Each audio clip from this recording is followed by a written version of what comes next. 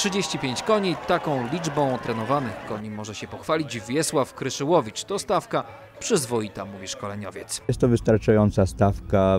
Ludzi też mam odpowiednią ilość, y, którzy pracują, chcą pracować. No i będziemy walczyli przez cały sezon o to, żeby osiągnąć sukces.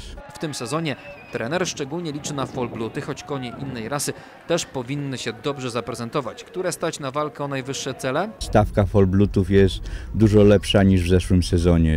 Y, Są lepsze konie, są y, trzy konie od pana Adama Łabęckiego, y, w tym y, roczniak po Belenusie. Jego brat y, z powodzeniem biega, pe- pełen brat biegał y, w Warszawie, jeszcze będzie biegał.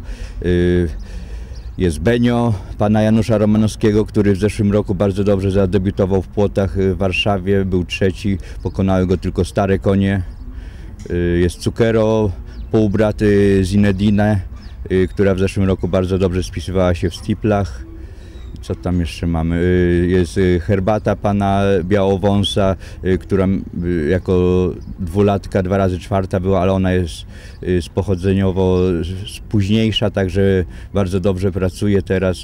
Mam nadzieję, że w tym roku dużo lepiej się zaprezentuje jeszcze pan Białowąs kupił drugiego konika, jest to Daisy Love, która była trenowana przez pana Adama Wyżyka. Jest to trudny koń, ale ma podobny charakter do Zinedine i myślę, że damy radę. Wiesław Kryszyłowicz żałuje, że w tym sezonie nie będzie trenować klaczy Zinedine, która w ubiegłym przyniosła mu sporo radości oraz trofeów, ale w stajni pojawił się jej następca. Najlepszy koń Zinedine no, została sprzedana jako najdroższy koń yy, w tym roku w Polsce, także jest y, zastępca Cukero, jej półbrat, y, jest troszkę z lepszym charakterem, nie potrzebuje tak mocnego tempa wyścigu, po prostu się ułoży w wyścigu i będzie czekał na finisz.